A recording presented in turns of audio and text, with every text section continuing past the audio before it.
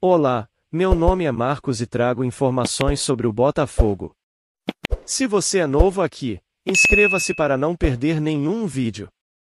O Botafogo teve um desempenho muito ruim na partida contra a Portuguesa e acabou ficando no 0 a 0. O técnico Luiz Castro recebeu duras críticas da torcida e de alguns jornalistas, incluindo o apresentador do programa Terceiro Tempo da Band, Milton Neves. De acordo com o jornalista, o Botafogo é um forte candidato ao rebaixamento, pois Castro não conseguiu implementar um padrão de jogo na equipe e não teme ser demitido. Textor, dono da SAF do clube, precisa se manifestar e cobrar a comissão técnica. Botafogo!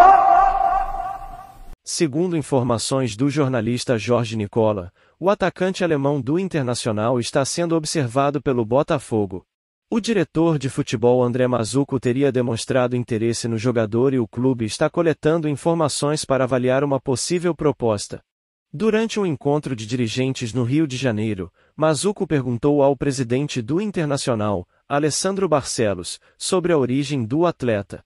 Vale destacar que o Internacional detém 70% dos direitos econômicos de Alemão, que tem contrato até 2025.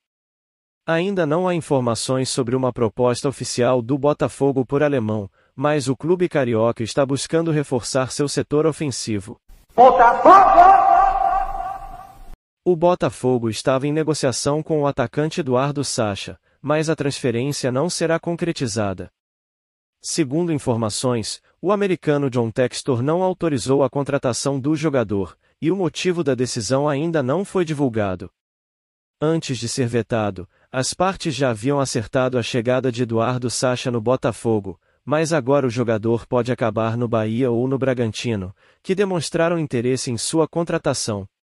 Com essa reviravolta, o Botafogo terá que buscar outras opções para reforçar seu ataque e ainda não se sabe se o clube pretende investir em outro jogador para a posição. E você, torcedor alvinegro, o que achou das notícias de hoje? Deixe sua opinião nos comentários. Voltaremos a qualquer momento com mais notícias sobre o Botafogo.